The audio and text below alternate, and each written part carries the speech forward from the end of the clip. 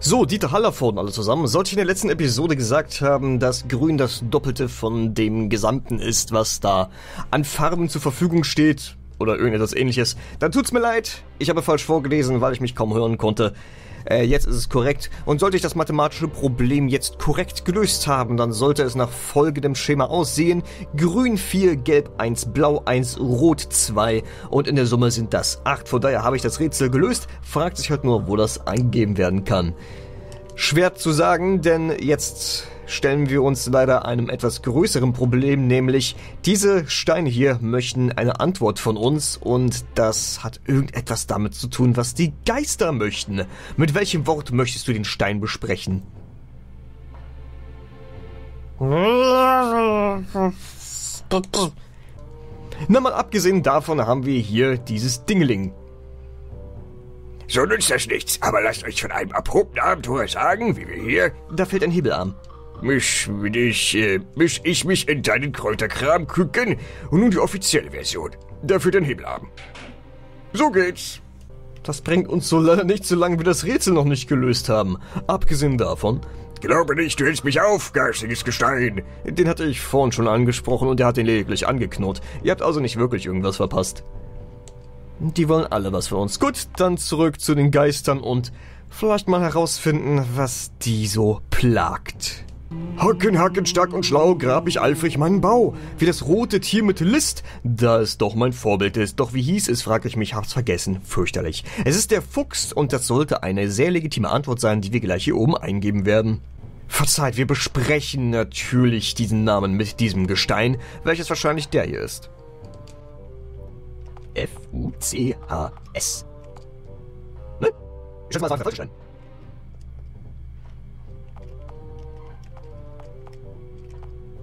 Auch nicht gut. Oder nicht so gut.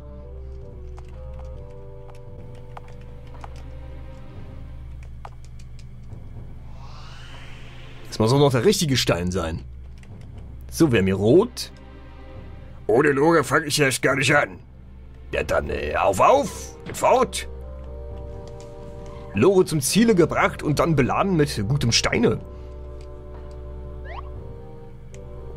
Ich hätte gerne... Wie viel brauchen wir? Was habe ich gesagt? Wo habe ich meinen Zettel hingeworfen? Es sind zweimal rote Steine. Hervorragend. Zurück. Hui.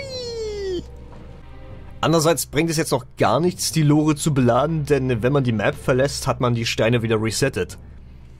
Ups. Ich ackere, hacke immer fort, Tag ein, Tag aus an diesem Ort. Halme, Grüne möcht ich sehen, doch darf ich nimmer fort hier gehen. Was wogt im Wind auf breiter Flur? Was war es noch? Wie hieß es nur? Gras. Mm, und es war korrekt. Ganz im Osten hacke ich, denke oft ganz wehmütig an das, was mir am fernsten ist. O helles Blau, wie weit du bist. Mal bist du klar, dann wieder wolkig, doch deinen Namen, den vergaß ich. Der Himmel. So, jetzt hör mir sehr gut zu, Steinchen. Himmel. Jawohl, das sind da mal intelligente Steine. Hätte ich nicht erwartet, dass die Minenarbeiter zu solch einer Technologie fähig sind.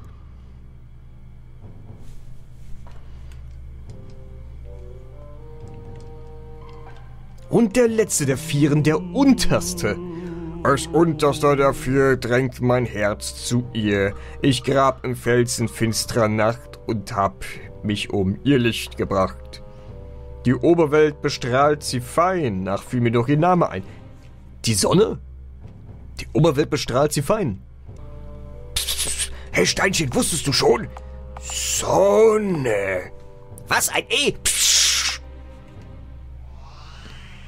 Hervorragend, gut. Jetzt können wir die Lore auch endlich mal beladen, speichern vielleicht nochmal, denn wir haben jetzt hier Großes geleistet und werfen da erstmal zwei rote Steinchen rein.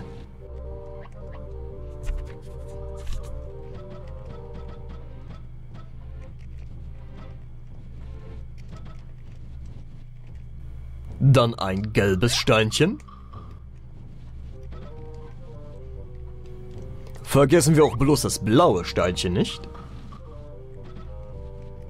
Und von grün genauso viel wie alle anderen. Ups. Und von grün genauso viel wie alle anderen. Zusammen zwei, drei, vier sind in der Summe dann acht. Ein Rätsel in einem Rätsel. Das gefällt mir. Und wenn wir es jetzt richtig machten sollte. Und nun? Ja! Auf Anhieb, ich bin so schlau wie Kluki. Das gefällt mir. Mir auch. Die Helden erhalten ganze 500 Erfahrungspunkte und ein Erdbeben. Was ist das? Zu viel gefreut, Raumzeit, Kontinuum, verzwirbelt. Die Decke kommt runter, raus hier, raus! So schnell wie möglich. Ja, aber ich will hier rein. Ist das raus? Kein Augenblick zu früh. Man lässt doch nicht einfach die Steine wackeln, wenn man keine Ahnung vom Bergbau hat. Piept nicht immer im Nachhinein so voll rumkücken. Wir hätten wahrscheinlich auch nach draußen gehen können, oder? Und dann hätten wir das ja alles verpasst. Vermale das nochmal, ich hab dich gesehen. Sie können sich nicht verstecken, ihr Piepert.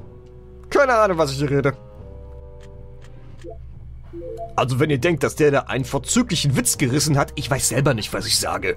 Gisuf erhält 200 Erfahrungspunkte, die Kiste enthält einen starken Heiltrank und fünfmal Eisenerz und vor allen Dingen liegt hier ein Skelett. Dem geht's gut, relax hier die ganze Zeit. Ja du, seht nur, wie der hier liegt. Dieser Bergmann ist wohl kaum lang ausgestreckt auf den Tisch gefallen, als ihn der Nebel packte. Vielleicht hat er auch gerade...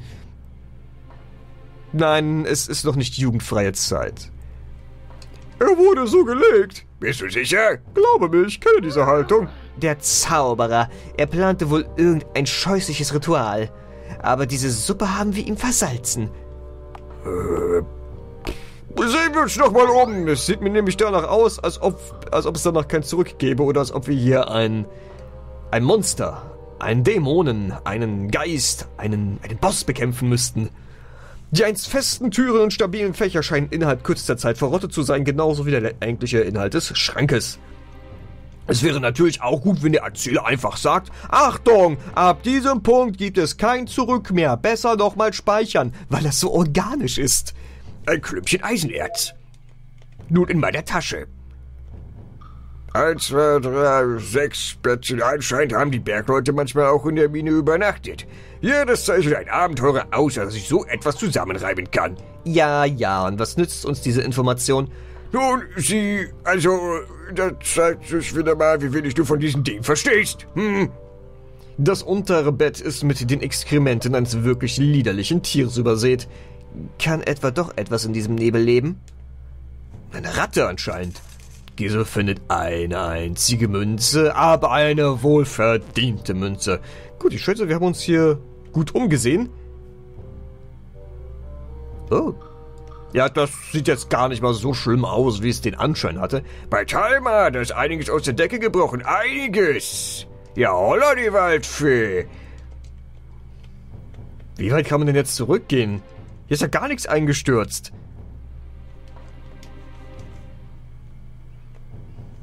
Na gut, befreien wir den letzten. Befreien wir den letzten Geist. Bup.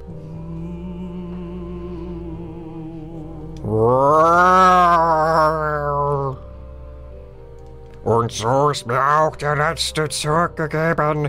Hab Dank, ihr Narren, sagt wahrscheinlich der Zauberer. Zauberer, bist du das? Zeig dich, Feigling, hör auf, deine Stimme zu verstellen. Ihr wollt mein Gesicht? So gut, nehmt mit diesem Vorlieb. Ja, damit kann ich leben. Welch zauberhaftes Lachen. Drei Tölpel und eine ahnungsloser als der andere. Glaubt ihr, meinem Willen widerstehen zu können? Ich war nur kurz geschwächt, doch nun habt ihr mich neuerlich gesättigt. Seht nur, wie meine Kraft pulsiert. Oh nein, transzendente Pupsierung. Der Nebel gewinnt an Kraft. Mal sehen, wie es ihm bekommt, wenn ich ihn den reinigenden Schein schmecken lasse. Reinigender Schein! Vergehe Dunkles, das Licht erstrahlt! Ja, aber holla! So war anders geplant. Zu spät, kleiner Paladin. Mit jeder neuen Seele wächst meine Kraft und gleich verschlinge ich drei weitere. Walle, wie du willst, ich weiche nicht. Sei kein Narr, raus hier, raus! Was haben wir nur getan? Hätten wir ihn mal liegen lassen sollen. Keiner, keiner damit rechnen, dass der Zauberer ein Skelett ist oder so. Oder was auch immer das war. Da, da, da, da, da, da. Oh, das hätte ich früher anstimmen müssen. Puh. So, super Metroid-Musik halt. Geflohen vor dem Gewabber der Dunkelheit. Ich. Und wir kamen dir kaum hinterher. Du musst einen Hasen in der Verwandtschaft haben. Kein Wort mehr über meine Familie, Hexe. Sonst. Sonst was? Das war ein Witz. Ruhe, eine beide. Wir haben uns schön übertölpeln lassen, wie grasgrüne Anfänger. Übertölpeln? Was meinst du? Ist das nicht klar? Der Zauberer wird sich schön ins Fäustchen lachen. Wir haben für ihn den Nebel entfesselt. Der Hexer... Kein Hexer, ein Zauberer. Bitte sehr. Ich nehme diesen Unterschied sehr ernst. Von mir aus. Der Zauberer musste nicht einmal selbst Hand anlegen. Wir waren seine willigen Esel. Das kann nicht sein. Ein Paladin dient dem Licht, keinen dunklen Machenschaften. Niemand zwingt dich, diese Sache irgendjemandem auf die Nase zu binden, Jungschen. Ich soll gegen das Gebot der Wahrhaftigkeit verstoßen? Pfui, Erwählter. Pfui, pfui, pfui. Zurück ins Körbchen. Kein Leckerli für dich. Hm, wie du meinst. Dann tratscht unsere Eselei eben herum. Aber welchem Zweck dient das alles? Was gibt es da schon groß zu fragen? Einem Zaubererzweck. Damit dürfte alles gesagt sein. Jeder hasst Zauberer. Vorsicht hinter dir! Der dunkle Arm des Verderbens! Der Nebel, der dringt aus der Mine heraus! Auf zum nächsten Hasenlauf! Hui! Bye bye. Ja, haben wir es damit ruiniert? Ist das Dorf dem Untergang geweiht? Also in Untergang geweihter als sowieso schon? Weil ihr kennt ja die Steigerungsform von Untergang geweiht, ne? Untergang geweiht, Untergang geweiterer, am Untergang geweitesten. Haben wir ihn abgehängt? Wohl kaum, der Nebel wallt aus dem gesamten Berg. Good job, Ass! Tja, äh, Abenteuerregel 8. Renne schneller, als dein Gegner fallen kann. Abenteuerregel 8?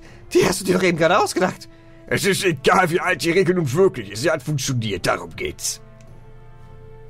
Ich, ich habe nicht den Eindruck, als ob wir jetzt hier irgendwas Positives gerissen hätten. Aber wir haben ein Abenteuer erlebt und darauf kommt es ja an. Puh, besser mal speichern und dann ganz waghalsig nochmal schauen, was im Bruchenfeld so abgeht. Ach, Abenteuerregel Nummer 8 schnell. Uh, vorhin klang doch etwas anders. Wird's jetzt nochmal, äh, variiert? Habt